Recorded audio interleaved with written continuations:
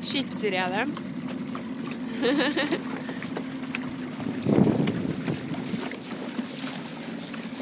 Ut mot det åpne hav.